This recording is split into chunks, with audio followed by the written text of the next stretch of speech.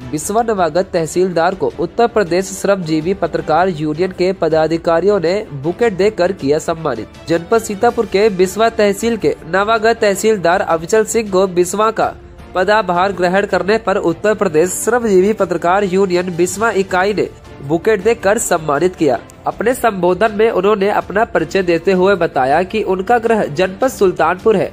उनकी पढ़ाई लिखाई इलाहाबाद यूनिवर्सिटी से हुई है। 2013 बैच में उनका सिलेक्शन हुआ था तथा उनकी पहली पोस्टिंग अयोध्या में हुई थी। उन्होंने कहा कि हम जनता की सेवा के लिए 24 घंटा तत्पर हैं, तथा हर पीड़ित की समस्या का समय पर निदान करना मेरी प्राथमिक ज़िम्मेदारी होगी। आप मीडिया बंधु हमें सहयोग करें, क्योंकि मीडिया लोकतंत्र का चौथा स्तंभ होता है।